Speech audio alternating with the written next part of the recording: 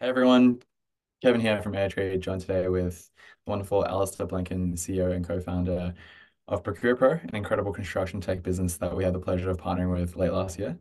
Context for this little video is that we see 2,500 pitches a year. And over the 10 years that we've seen these pitches, ProcurePro's fundraising materials stood out as close to the very best, if not the very best, of uh, Series A SaaS startup that we've seen. It wasn't just the pitch deck, it wasn't just the amazing modeling the back end, how thoughtful it was. Actually one particular document that really stood out. It was this one called the Business FAQ. We think everyone from pre-seed to Series B could learn a little bit from it. Um, we're excited to share it with you all. I'm going to let Al quickly introduce himself and ProcurePro before we jump into a couple of questions about the document.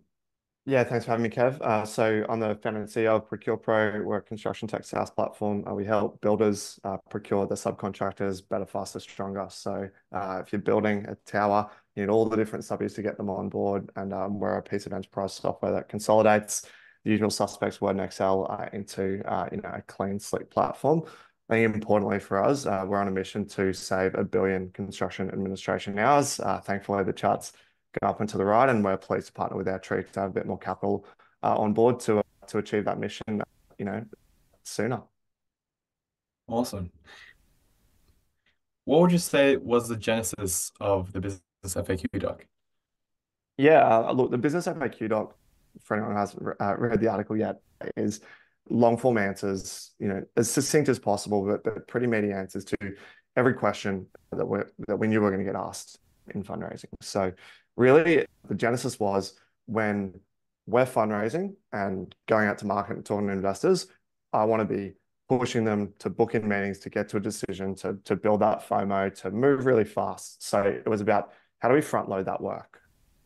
We sort of have an internal statement around fundraising that 98% of the work's done in the preparation. So you get that right at the front end, and then the actual process should ideally, you know, go smoothly, even though we were fundraising in a really tough market. And then there was an optics piece as well that we wanted to just demonstrate to investors, you know, really how good we were, that we had everything sorted. And, and that was that was the theory, and, and it turned out to be uh, pretty good in, in reality as well.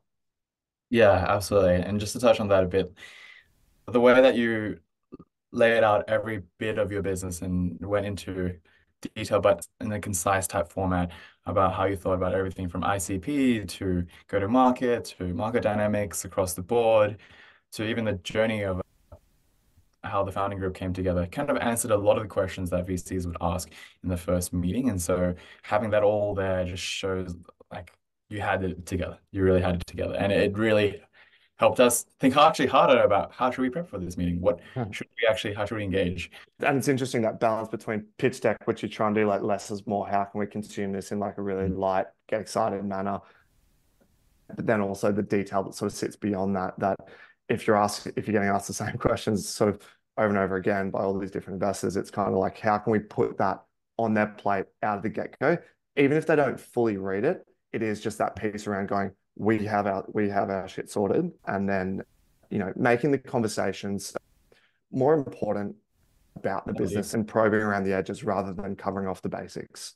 Mm, mm. that would have saved you a lot of time and a lot of probably an extra round with all the investors that you reached out to. How, how did you find it received from your investors or your prospect investors? Yeah.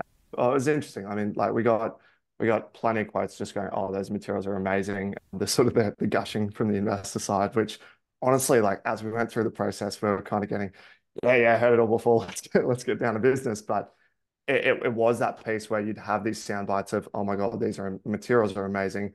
They're so comprehensive. We've never seen this before. These are the best materials we've ever seen. These are the top 5% of materials we've ever seen, top 10%. So when you when you're in a competition when you're raising money. It's not just are we good enough as an investment, but as you talk about, you you see two and a half thousand pitches a year, and you only invest in a really small proportion of them. So you're competing against other companies' attention bandwidth deal terms as well. So it's like, how do we mm-hmm. make the the FOMO real, and and how do we make what we're presenting so compelling from a personal perspective as well? It's like your your business can be you know, however good on the growth and the metrics front, but at the end of the day, you know, investors are backing people as well. So it's kind mm. of that optics of, hey, this founder has absolutely got it sorted. And if this is how they're going to treat a fundraising, well, you know, they'll they'll be good custodians of our capital as well. Yeah, exactly. And I think we it was like if if you could treat a fundraiser like this, it shows how you would treat customers, it shows how you treat sales pipelines, it'll show you how you onboard potential new great talent that you hire. I think also talking to the FOMO part with your secondary FAQ document, it really showed that there are a lot more investors looking at this and really built momentum for the round um, and made us have a sense of urgency to move much move much faster. What would you say you would change if you had to fundraise again, given all your learnings? Yeah, uh, look, I mean, we we did this pretty comprehensive 10-page FAQ, small margin, small text, pretty Mm. succinct, and then there was that follow-up. So there's probably a few questions that we got through the process that were sort of almost good to identify that we responded to. You could probably do a little bit more of that. You could sort of prep a little bit more with some other founders or friendly investors and get a few of those questions out of the gate.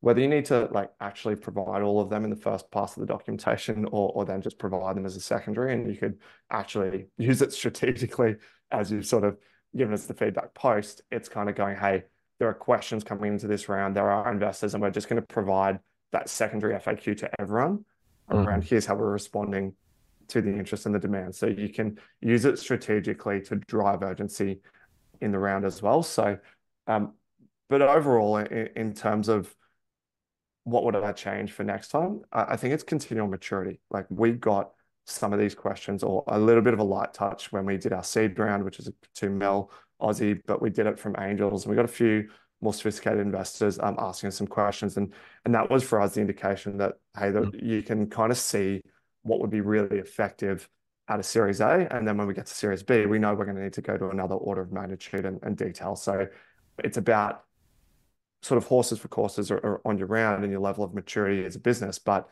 getting in that habit of being able to write and explain your business is not just important for fundraising, but you know, for potential future M&A as well. And, and we actually provide this document to, to senior hires uh, as well, who we, we want to build a lot of conviction um, in the business as part of the recruitment process. So we say, hey, have this document, read it. You can you can see as well that that we we've got our our ducks in a row.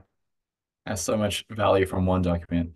That's probably a good note to finish on. Thank you so much, Al, for sharing this with us. If you guys would like to see the business FAQ template, we'll have it on our website available for download. Hope you all find it useful, if not in your fundraising journey, but just in how you think about a business.